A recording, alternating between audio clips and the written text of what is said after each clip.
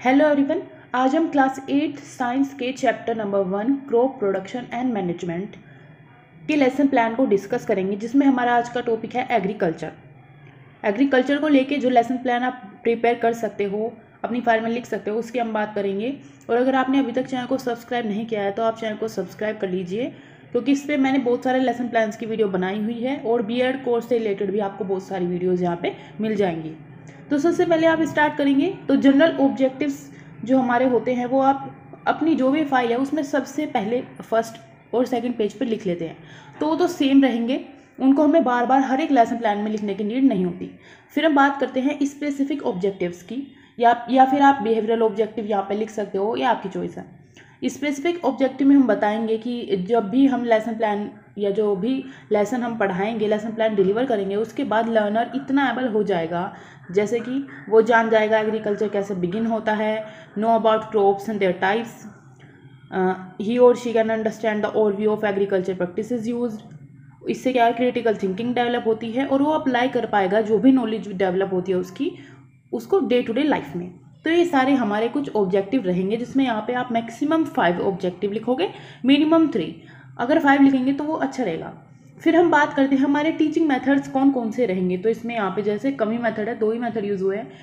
आप चाहे तो और भी मेथड यूज़ कर सकते हो, जैसे डिस्कशन डेमोन्स्ट्रेशन और फिर आएगा टीचिंग मेथड जिसमें आप टीचिंग एड्स क्या क्या एड्स आप यूज़ कर रहे हो? पीपीटीज वीडियोस ये यूज़ कर रहे हो एनिमेशन आप लिख सकते हो। बात करें प्रीवियस नॉलेज की, कि बच्चे की क्या प्रीवियस नॉलेज रहेगी तो उसमें हम लिख सकते हैं कि the learner know about food and their source learner इतना तो जानता होगा कि फ़ूड के बारे में और उनके सोर्सेज के बारे में। फिर हम क्या करेंगे? प्रीवियस नॉलेज को चेक करेंगे, उसकी टेस्टिंग करेंगे। जिसमें आप यहाँ पे एक टेबल बनाओगे, जिसमें एक तरफ़ होगा टीचर्स एक्टिविटी एक तरफ़ होगी स्टूडेंट्स एक्टिविटी ये स्टूडेंट एक्टिविटी जो है, इसको आप एक्सपेक्टेड स्टूडेंट एक्टिविटी भी लिख सकते हो, क्योंकि हमें नहीं पता है क्या बच्चे बिल्कुल यही रिस्पॉन्स करेंगे, यही आंसर देंगे, वो उनके आंसर डिफरेंट भी हो सकते हैं। तो प्रीवियस नॉलेज को चेक करने के लिए, क्योंकि प्रीवियस नॉलेज है फ़ूड के बारे में और उसके सोर्सेज के बारे में बच्चों को पता होगा, ये हम मान के चलते हैं। तो इसको कैसे चेक कर सकते हैं? लाइक हम उनसे क्वेश्चन पूछ सकते हैं what do eat where does it come from where do we grow these plants what are the process of growing plants in fields called ये सारी चीज़ें। और जब एक ऐसा क्वेश्चन लास्ट में पूछेंगे जो टॉपिक से एकदम रिलेटेड होगा, उसको ऐसे प्रॉब्लमेटिक क्वेश्चन या एक डैश दे देंगे कि बच्चे इसका आंसर नहीं कर पा रहे क्योंकि उन्होंने अभी तक ये चीज़ें नहीं पढ़ी है। फिर यहीं से ही हम स्टार्ट कर देंगे अपने टॉपिक के इंट्रोडक्शन को। इंट्रोडक्शन में स्टेटमेंट आएगा टॉपिक का कि so today we will study about agriculture इस तरह बोल के हम अपने टॉपिक को स्टार्ट करेंगे। टॉपिक को स्टार्ट करते हैं तो हमारा मेन लेसन प्लान की बॉडी आती है प्रेजेंटेशन ये प्रेजेंटेशन ही मेन लेसन प्लान होता है, जिसको हम डिलीवर कर रहे होते हैं क्लासरूम के अंदर। तो इसके अंदर क्या क्या चीज़ें आ सकती है? जैसे, सबसे पहले तो टीचिंग पॉइंट आएँगे टीचर्स एक्टिविटी आएगी स्टूडेंट के रेस्पॉन्स आएँगे असेसमेंट ये सारी चीज़ें। तो टीचिंग पॉइंट में हमारे हो सकते हैं द हिस्ट्री ऑफ़ एग्रीकल्चर क्योंकि हम ये चीज़ें पहले पढ़ाएँगे, उसके अकॉर्डिंग आप टीचर की एक्टिविटी लिखोगे, कि टीचर जो भी चीज़ें दिखाता है एनिमेटेड वीडियो दिखा रहा है, या जिस मेथड से पढ़ा रहा है फिर स्टूडेंट रेस्पॉन्स आएगा स्टूडेंट कैसे रेस्पॉन्स कर रहे हैं, वो ऑब्ज़र्व कर रहे हैं पिक्चर्स को और अपने व्यू शेयर कर रहे हैं। फिर असेसमेंट में या फिर आप यहाँ पे इवैल्यूएशन लिख सकते हो, यहाँ पे कोई क्वेश्चन आप उनसे पूछोगे रिलेटेड टू द टॉपिक इसी तरह आप डेफिनेशन पे आओगे एग्रीकल्चर की, उन्हें डेफिनेशन बताओगे। फिर सेकंड हमारा टीचिंग पॉइंट आ जाता है क्रॉप एंड इट्स टाइप्स ये देख लीजिए यहाँ पे आप, इसको लेकर टीचर किस तरह इसको पढ़ाएगा कि वो पिक्चर दिखाएगा वीडियो दिखाएगा, जो भी।